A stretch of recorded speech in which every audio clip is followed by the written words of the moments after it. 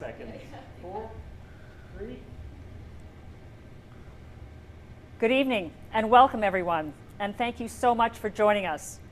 My name is Deborah Yedlin, and I am the President and CEO of the Calgary Chamber of Commerce, and I'll be moderating this evening's debate with my co-host Dallas Flexhaug with Global News.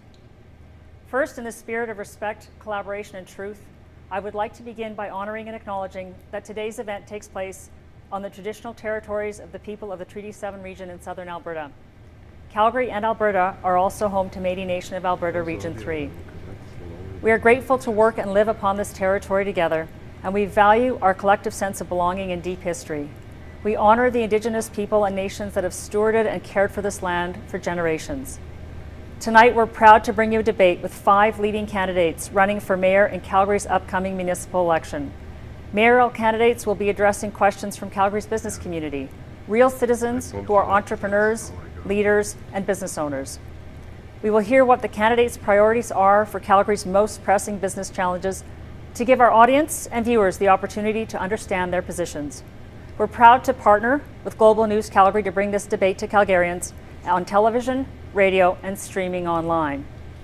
I'd like to welcome and introduce my co-moderator for this evening's discussion, Dallas, Dallas Flexhaug, anchor for Global News Morning Calgary. Ms. Flexhaug is a born and raised Calgarian who has been bringing the news to Calgary since 2007 as an anchor, reporter, and producer. You'll hear more from her with some opening remarks in just a moment. An important part of the Chamber's purpose is to connect our business community to civic leaders, helping businesses succeed by being at the table for critical decisions about the future of our city. Business owners and leaders are the reason why the Chamber exists, to, ma- to help make your businesses more successful, a job we've been doing for 130 years. This event is being broadcasted and streamed, and we encourage our audience to also engage with us on social channels. Join in this evening's discussion on Twitter. Our handle is at Calgary Chamber, and also follow along at Global Calgary. Use the hashtag, hashtag Pathways to Potential. This event is about economic recovery and long-term prosperity for our city. It is also about hearing about how our next mayor will not only help business, businesses survive this pandemic, but also what comes next and how we achieve our economic potential as a city. There are many pathways to get there, and tonight we will hear from candidates to learn about what their road ahead looks like. Our entire economic landscape has changed since the last civic election. And while the issues of property taxes, high vacancy rates in our core, and creating a vibrant, connected city are not new. The pandemic has intensified the challenges, making it even harder for businesses to succeed. But we are a city of doers, and in the midst of the most challenging circumstances, Calgary businesses have found ways to innovate, create, pivot, and keep going. They are listening tonight to learn more about what each candidate will do to help their businesses reach their potential. The Calgary Chamber, representing our city's business community, has developed a platform called Pathways to Potential. We want you, as voters, to be aware of the issues and tonight hear from candidates specifically on what their proposed on their proposed solutions. Because the issues are not what will move us forward. Solutions will. We know strong businesses help build strong communities. So we're here today to talk about the big picture of our city and how each candidate plans to get us to where we need to go. Now, without further delay, I will hand it over to my co-moderator to share the details of how this evening's debate will go. Ms. Flexhaug, over to you. Thank you for that, Deborah. Uh, good evening. Good evening to you candidates. Good evening to you uh, viewers at home. Uh, thank you for joining us tonight. We do certainly appreciate our viewers and listeners tuning in virtually, and of course to the candidates who have agreed to be here following all safety protocols that do allow them to come together to safely share their perspectives. As an added layer of safety, proof of vaccination or recent negative test result have also been verified for each person in this room, all of the in-person participants. So let's begin with a few rules of the debate. As determined by recent polling, we have invited the top five mayoral candidates to participate in tonight's debate. This debate is going to be focused on five questions on the following topics. Talent in Calgary, property tax, Calgary's downtown, inclusive growth and equal economic opportunity, and making this city a great place to do business. Questions have been pre-recorded. They are going to be coming from Calgary business owners and leaders. We are going to play them And then we are going to give the candidates 60 seconds to each respond to each question in a pre-selected rotating order that is going to vary for each question. Candidates will have a view of the countdown clock, which is right there. It's nice and big. Uh, it is going to be reset at the beginning of each response. There's going to be no opportunity for rebuttal in this debate. As moderators, Deborah and I, we may prompt a candidate for more details. We may ask a follow-up question. We may just move along with the discussion if we feel all of the topics are covered and discussed sufficiently. Do, uh, we do want to send a reminder uh, to all of you that this is a professional debate on the topics of interest to the Calgary business community. We do encourage you candidates to get candid with your answers, uh, answer them with conviction, but just a reminder that uh, speaking over each other, combative behavior, that is not going to be tolerated tonight. I met Deborah, and she will keep us all on track. so we are going to begin tonight by giving the candidates an opportunity to introduce themselves with 45 seconds to provide some opening remarks. Ms. Damery, we are going to be starting with you. That is going to be followed by Mr. Davison, Mr. Farkas, Mr. Field, and then finally Ms. Gondek. So, Ms. Damery, turn it over to you. Hello, I'm Jan Damery. I'm an economist, I'm a leader, I'm a doer. I've been talking to women, and we need to feel more safe in our city. If we do this, it's great for all of us. I've been talking to business owners, and they need to have stable taxes and less regulation to recover. I've been talking to newcomers, and they need to settle quicker and connect into jobs, affordable housing, and transit. I've been talking to our kids, and they need jobs, they need action on climate change, and they need cool things to do in Calgary. What we do need is leadership. What we do need is more doing. What we don't need is a politician in the mayor's seat.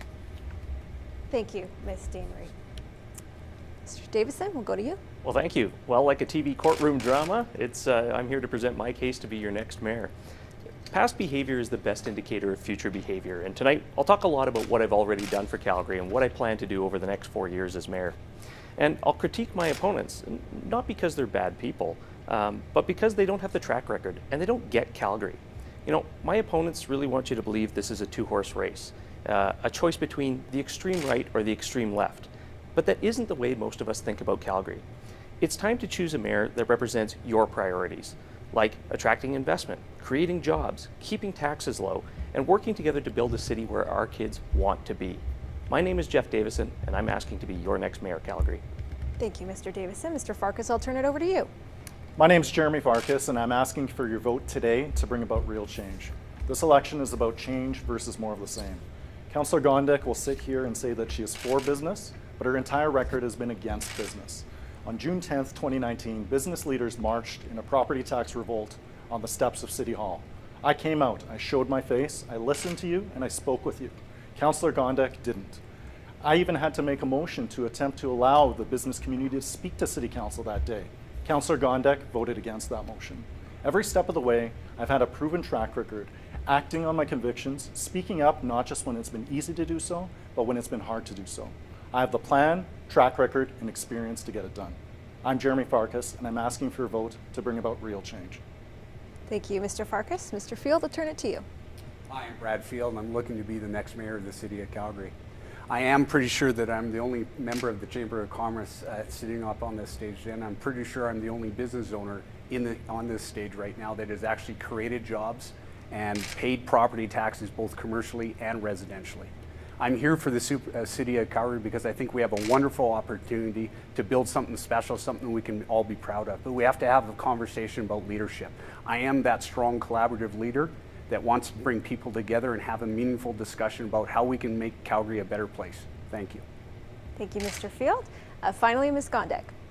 Hi, my name is Jyoti Gondek, and like all of you, I understand that our young city is facing a socioeconomic challenge unlike anything we've ever seen before we can continue to attract investment, we can welcome and retain talent, and we can reestablish our economic advantage. We'll need to be intentional to do so.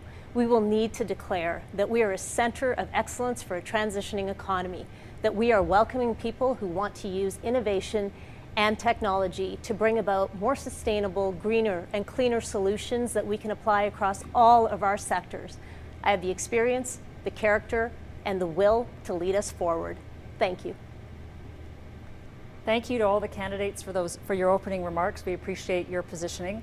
And now it's time to begin with the first of our five questions. Remember, you have one minute each to respond. So, first, let's talk talent. Opportunity draws talent. And at the Chamber, we envision a vibrant Calgary that develops, retains, and attracts talent from all walks of life, enabling our city and our people to have the skills needed to thrive in the economy of today and tomorrow. Recent data shows one key demographic is shrinking, and that is among young adults aged 20 to 24. The latest reports show young people in particular are leaving Alberta than coming here. With these challenges in mind, we share a question from a member of our business community. Hi, I'm Scott Smith, Chief Operating Officer at Viewpoint Investment Partners. Talent is critical to the future of our economy, and in a survey of Calgary businesses earlier this year, 80% of them indicated that attracting talented young people was among their top concerns. If elected mayor, what will you do to attract, retain, and invest in talent to ensure our young people stay here and businesses like mine have access to bright minds and diversified skill sets? Thanks, Scott, for your question. Let's start with Mr. Farkas. You have 60 seconds, and then we will go to Ms. Gondek, Ms. Damery, Mr. Davison, and Mr. Field. We need, in order to keep our people, we need Calgary to be affordable and to be safe. Every step of the way, I've opposed needless spending and budget increases that have driven our local small business owners out of business. I'm the only city councillor here who actually voted against defunding the police. And I think that lack of essential services like safety and security has really impacted our ability to stay competitive. Calgary is now the only major North American city without a downtown police station, and that station was closed at the same time as the drug site opened.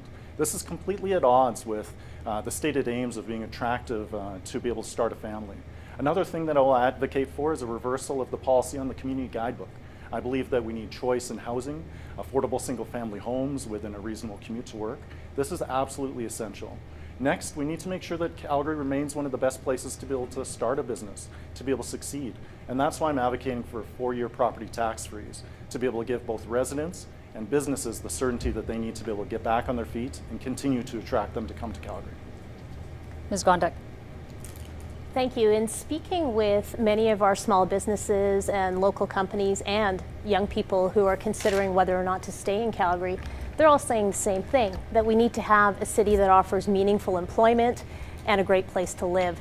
When you speak with people, particularly in the tech sector, they're saying that they're already providing incubator and accelerator opportunities. They're employing young professionals and training them to be senior leaders. They are taking on important challenges like becoming a center for energy transition. We have a carbon removal accelerator already in our city, and that's the kind of work that young professionals want to do something that makes them feel like they're part of meaningful change. And we need to offer them a city where they can have amenities close by to where they're working. We need to invest in things like public transit. All of those things make this city a great place to stay. Thank you, Ms. Gondek. Ms. Damery. We have 2,000 vacancies that we can't fill with digital and STEM expertise.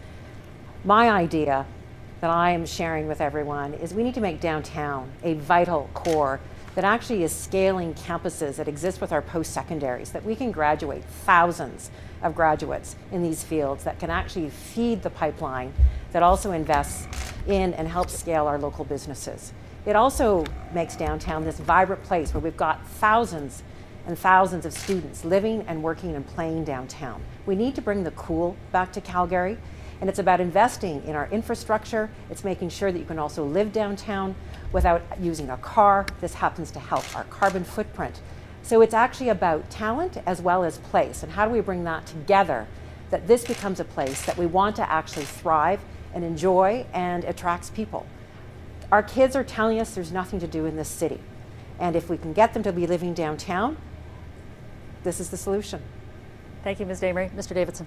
Well, you know, first of all, if we're going to be successful, we've got to get out from under this cloud of negativity that some up here have actually created in Calgary. We need to get excited about Calgary and our future again. You know, the other day, the CEO of Arts Commons, uh, Alex Sarian, put it into great perspective for me when he said, you know, my wife and I moved from New York City, and we spend so much of our time here in Calgary talking to people about